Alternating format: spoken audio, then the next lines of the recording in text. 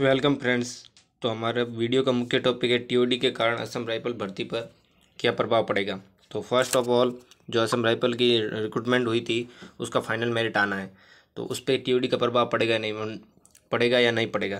तो guys TOD का जो प्रभाव है, वो ओनली इंडियन के तीन जो प्रमुख सेना हैं, जल, थल और वायु, उन पे ही पड़ेगा। टी का हमारा मेरिट पर कोई प्रभाव नहीं पड़ेगा। उसको लेकर एक न्यूज़ कटिंग बहुत वायरल हो रही है, वो ये हैं कि अग्निवीरों को असम राइफल और सीएपीएफ भर्ती में मिलेगी प्राथमिकता। तो ये, इससे हमारी भर्ती का कोई संबंध नहीं है। ये जो इन फ्यूचर होगा, जीडी के थ्रू जो रिक्रूटमेंट होगी, एसएससी जीडी के थ्रू, चार साल बाद जब ये अग्निवीर हो जाए, रिटायर्ड होंगे तब तो ये उसके थ्रू है, उसके लिए है और सरकार सरकार ने इनको लिए दस प्रतिशत कोटा रक्षा मंत्रालय जॉब में दिया है। दूसरा पॉइंट ये है हमारा कि दस प्रतिशत जो कोटा है, वो इन, इनको मिला है।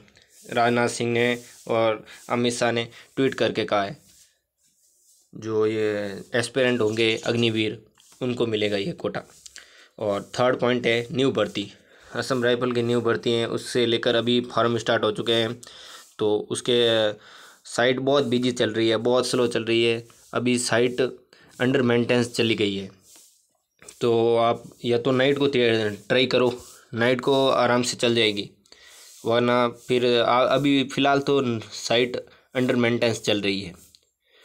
और चौथा पॉइंट है फाइनल मेरिट लिस्ट अपडेट तो फाइनल मेरिट लिस्ट अपडेट यही आ रहा है सामने कि जून तक, जून लास्ट तक आराम से आ जाएगा। जो भी बोल रहा है, ये भी बोल रहा है कि जून लास्ट तक फिक्स है, जून लास्ट के अंत तक फिक्स आ जाएगा।